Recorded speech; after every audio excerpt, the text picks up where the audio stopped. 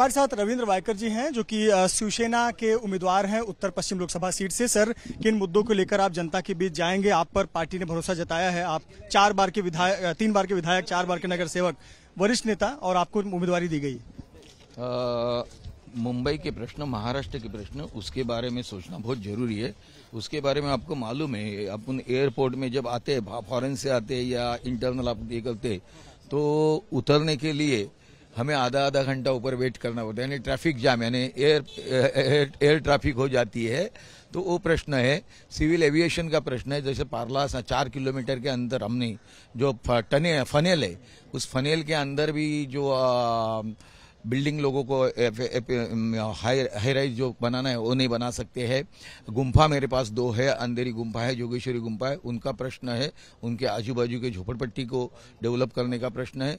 और एयरपोर्ट के बाजू में भी झोपड़पट्टी है तो हम ऐसी एयर ट्रैफ़िक होती है तो उस एयर ट्रैफ़िक के लिए उधर के झोपड़पट्टी वालों को अच्छे से मकान दिए जाएँगे तो वहाँ भी दो वे बन सकते हैं।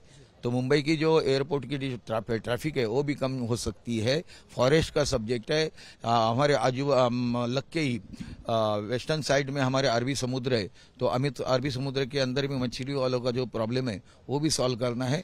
यानी केंद्र के बारे में जो भी कानून में बदल लाना चाहिए, वो अभी तक क्यों नहीं बोला गया, मुझे मैं समझता नहीं। जैसा मराठी का मुद्दा हो मराठी को अभिजात भाषा का, मराठी का दर्जा देने के लिए हम लोग झगड़ रहे 2012 से मैं पत्र व्यवहार कर रहा हूँ, विधानसभा में बात कर रहा हूँ।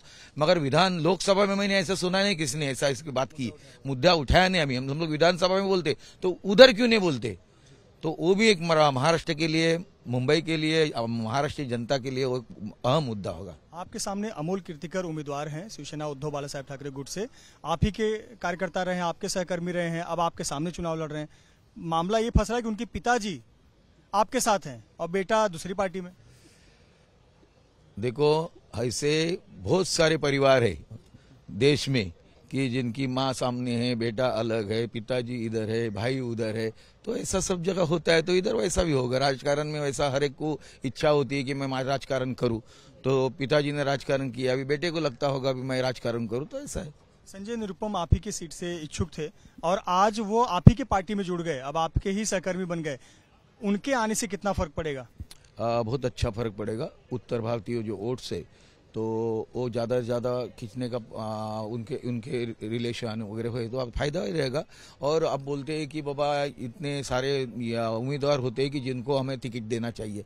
तो उसमें से श्रेष्ठी जो होते हैं वो चुनते चुनते हैं कि बाबा कौन ज़्यादा जीत के आ सकता है? तो उसी को टिकट मिल जाती है। मातोश्री यानी उद्धव ठाकरे आदित्य ठाकरे के रडार पर आप हैं क्योंकि आप वो विधायक हैं जो सबसे आखिर में एक नाथ शिंदे के साथ गए थे। और मुंबई से विधायक हैं आप तो एक नाराज़गी। ऐसा राडार किधर बैठा है मुझे मालूम नहीं है। आपको मालूम होगा तो बता दीजिए। रविंद्र वायकर जो कि उत्तर पश्चिम लोकसभा सीट से शिवसेना के उम्मीदवार हैं महायुति के उम्मीदवार हैं और कह रहे हैं कि अगर मैदान में लड़ रहे हैं तो वो जीतने के उद्देश्य से ही मैदान में उतरे हैं। कई स्थानीय प्रश्नों का उन्होंने ज़िक्र किया साथ ही साथ ये भी कहा कि उद्धव ठाकरे और आदित्य ठाकरे ने उनके लिए रडार कहाँ बिठाया है इसकी जानकारी उन्हें नहीं है लेकिन वो उन्हें संजय निरुपम का भी साथ मिलेगा और वो जीत कर भी आएँगे।